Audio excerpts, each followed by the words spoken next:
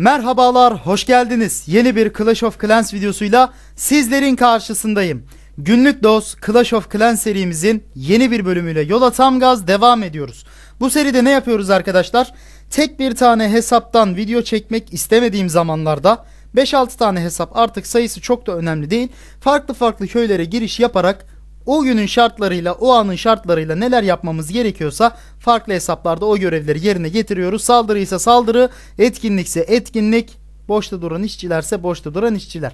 Yani ben de karşıma ne çıkacak bilmiyorum. Bakacağız. Birazcık doğaçlama takılacağım arkadaşlar. Videoyu beğenmeyi lütfen ihmal etmeyin. Ayrıca izlemeye yeni başlayanlara da günlük Clash of Clans içerikleri için kanalıma abone olmayı tavsiye edebilirim. Son bir kez daha hatırlatmak istiyorum arkadaşlar. 40 bin abone olmamıza şu kadarcık bir şey kaldı. Desteklerinizi bekliyorum. Ayrıca 40 bin aboneye özel de bir soru cevap videosu paylaşacağım.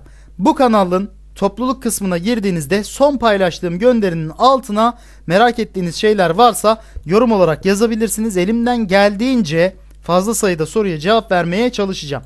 Vaziyetler bu şekilde. İsterseniz gelin yavaştan işimize gücümüze başlayalım. Pekala efendim belediye binası 13 ana hesabımızla yola başlıyoruz. Şöyle bir duruma bakalım isterseniz laboratuvarda şu anda dal kavuk max seviyeye gidiyor arkadaşlar. Sırf süper minyonları açabilmek için dal kavuğa öncelik verdim ve 22 saatlik bir süresi kaldı.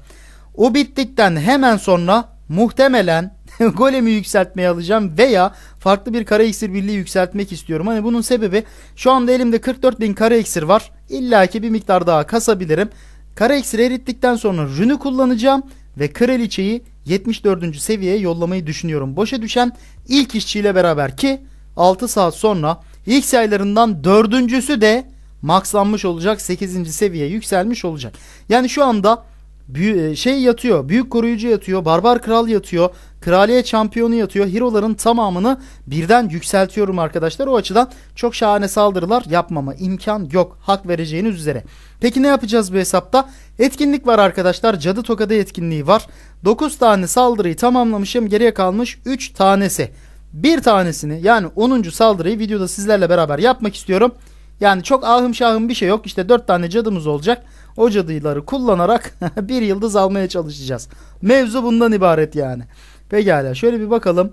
Ganimetiyle, savunmasıyla hero'larımızın olmamasına uygun bir köy bulalım.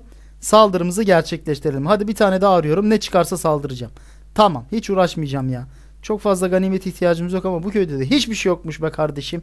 O kadar da değil bir 300-500 altın altın bir şeyler olsun. Tamam. Buraya saldıracağım. Daha doğru düzgün büyümüz de yok. 4 tane dondurmayla bu orduyla neler yapabileceğim acaba? Uçan kışlan var mı? Varmış mükemmel. Uçan kışla bize yüzdeyi verir arkadaşlar. O yüzden uçan kışla tercih ediyorum. Hatta şuradan Pekka'nın arkasından kraliçeyi ve 4 tane cadımı da bırakacağım. Hatta bir tane de öfke büyüsü kullanmayı düşünüyorum. Bol bol büyülerimiz var zaten. Bir problem çıkmayacaktır. Peki o orada bir dura dursun. Şu noktada bir tane büyücü kullanacağım. Bebek ejderleri sahaya sürmeye başlıyorum. Amacım bir yıldızı alalım. Etkinlikten bir tane daha düşsün. Tamamdır yani. Onun haricinde yapacak çok da fazla bir şeyim yok arkadaşlar şu anda hesabımda. Pekala hava savunmaları yıldırım olmadığı için başımızı baya bir ağrıtacak ama yapacak bir şey yok. Kraliçenin özelliğine basıyorum lan tam bastım kaya saçar vurdu. Haydi yıldız alamazsak çok kötü olur çok kötü %38. 7 tane bebek ejderim var şuraya 2 tane balon göndereceğim. Şuraya bir tane yıldırım patlatacağım. Hava savunmasında bebek ejder bir tane de öfke değil dondurma burada daha çok iş yapar değil mi? Aynen bir tane dondurma atıp bebek ejder diployunu devam ediyorum. %45 şöyle 46 şöyle hmm, nereye göndersek yalnız tehlikeli ha. 48 tamam şöyle bir şey yapacağım. Ee, bir tane şuraya bırakacağım. Bir tane öfkeyle beraber bir bebek ejder de şuraya bırakacağım. %49 ve %50'yi aldık mı bizden iyisi yok. İşte yüksek kupalarda hero'lar olmadan ganimet de kasılmıyor arkadaşlar. O yüzden diyorum hero'lar yatıyorsa kupanızı mümkün olduğunca düşük seviyelerde tutmanız sizin faydanıza olacaktır. Pekala ikinci bir saldırıya gitmek istemiyorum çünkü farkındayım sıkıcı oldu. İsterseniz gelin bir sonraki hesabımıza geçiş yapalım. Pekala efendim belediye binası 12 yeni geçilmiş hesabımıza girişimizi yaptık arkadaşlar. Burada bir bakıyorum işçiler boşta değil. En yakın işçi 2 gün sonra boşa düşecek. Elimde sinsi goblin ordusu hazırda. Peki ben burada etkinlik kasmış mıyım? Ee, Pekka etkinliği bitmiş. Cadı etkinliğine henüz başlamamışım. Aslında araştırma iksiri verecek. Ne kadar süresi var bir bakayım. Yetiştiremeyeceksem eğer uğraşmayacağım. Bir gün 14 saatte eh, pek sanmıyorum açıkçası. O yüzden yan hesaplarda çoğu zaman etkinliği es geçiyorum arkadaşlar. Yetişmiyor çünkü. Şimdi bize ne lazım? Altın da lazım, iksir de lazım. Bir tane Sinsi Goblin'le ganimet kasma saldırısı yapalım. Sonra diğer hesabımıza geçiş yaparız. Bir tane de efsanelik saldırısı yapacağım arkadaşlar. Videonun ilerleyen dakikalarında. Hero'ların ayaklanmasını bekliyorum. Bakalım. Hangi sıraya denk gelirse hero'lar ne, zaman ayaklanırsa canlı bir savaşta yapacağım. Pekala.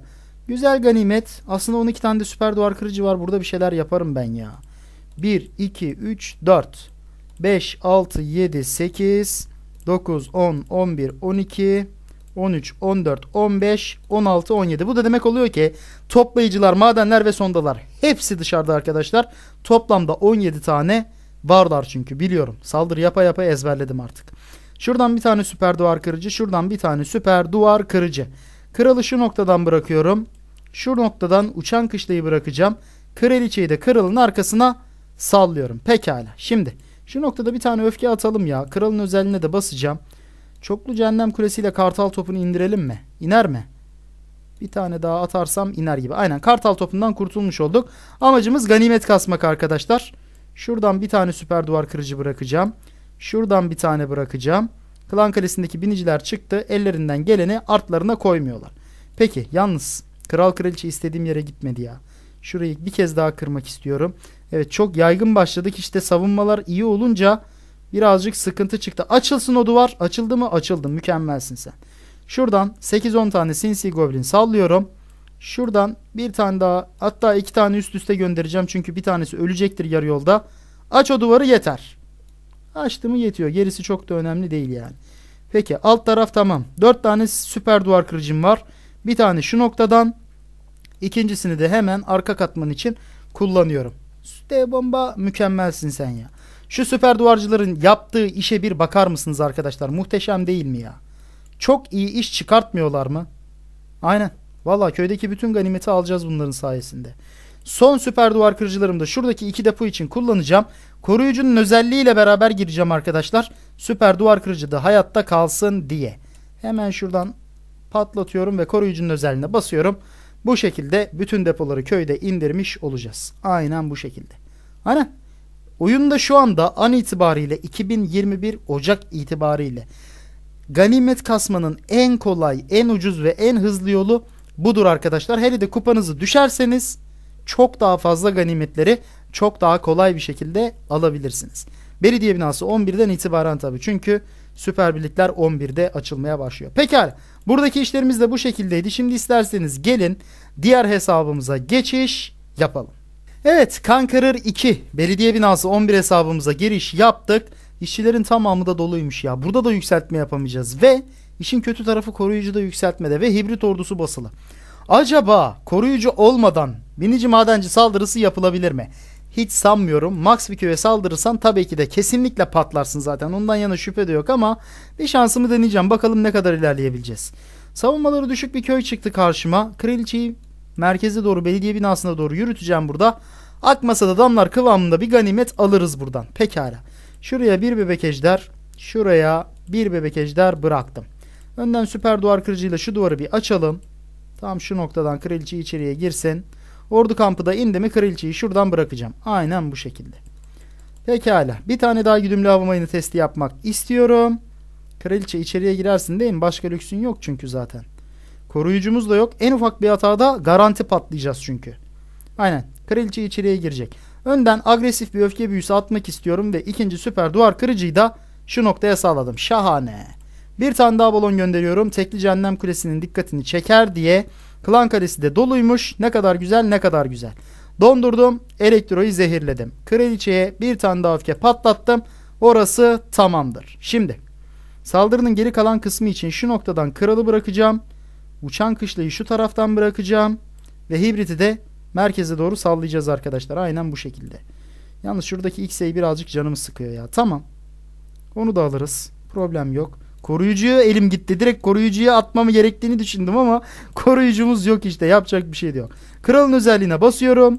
İyileştirmeyi elime aldım. Kartal topu hibriti hedef aldı. Şu noktada kullanmak durumundayım arkadaşlar. Biniciler ölmesin ki öldürdü. İyileştirmenin içinde öldürdü vicdansız ya. Hiç acımadı yani.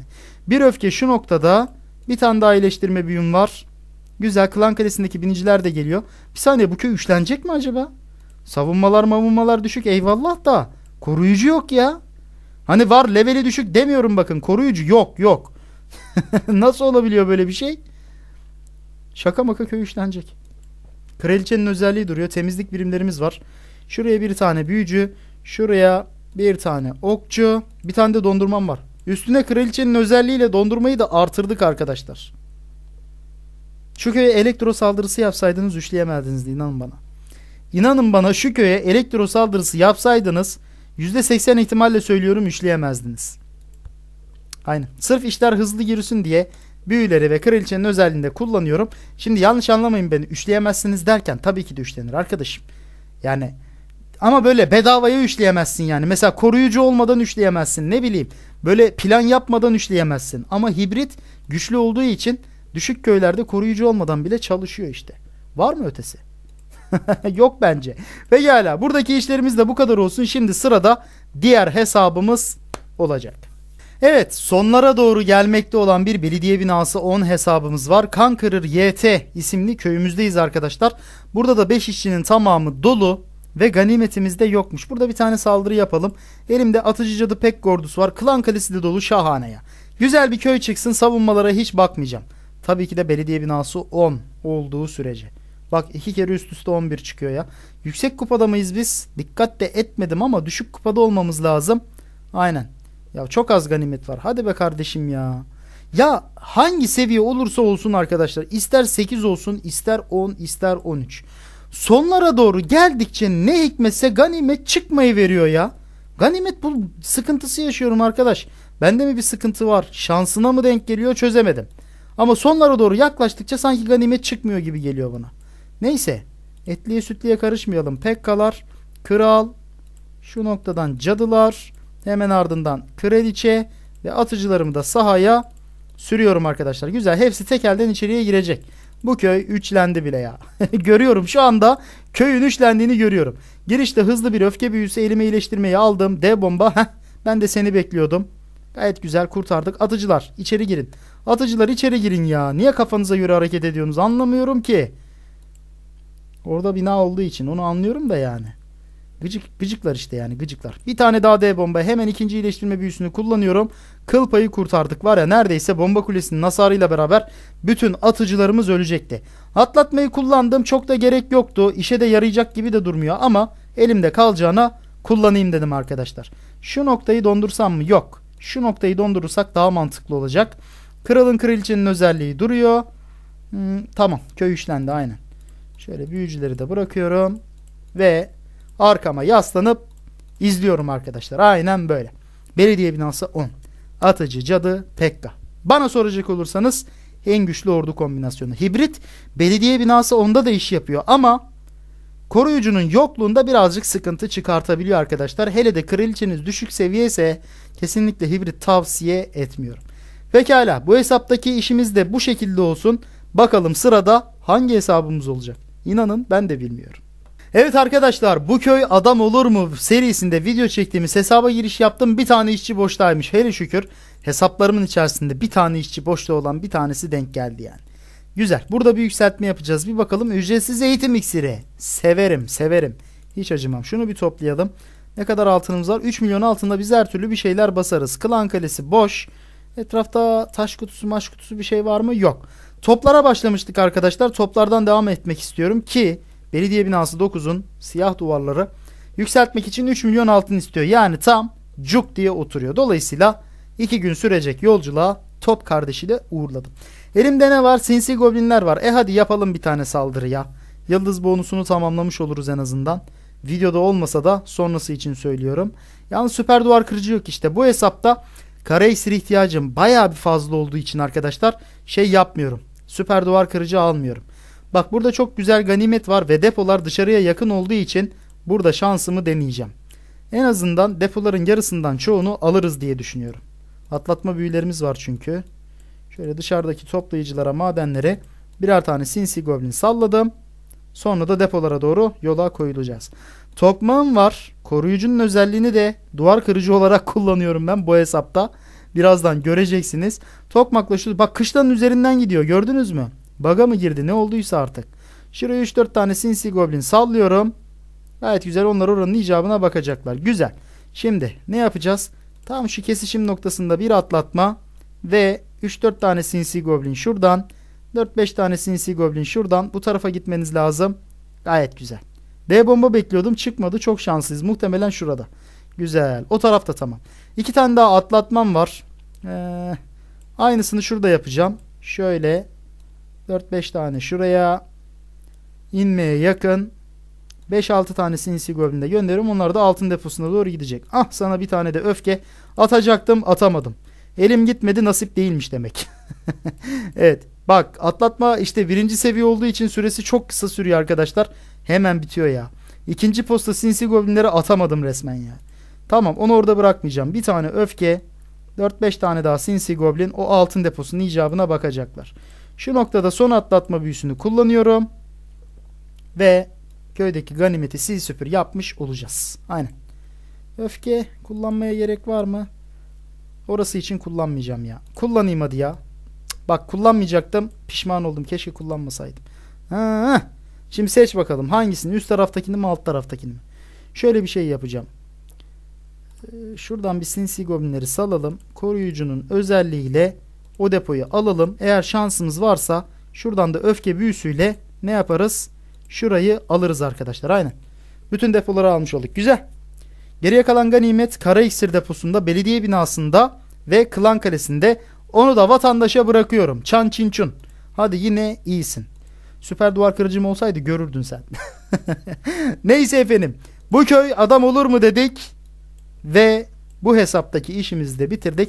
Şimdi bakalım sırada hangi hesabımızda neler olacak.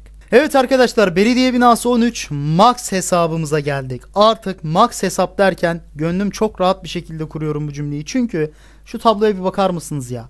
Yapabileceğim en ufak bir hamle kalmadı arkadaşlar yükseltme bazında.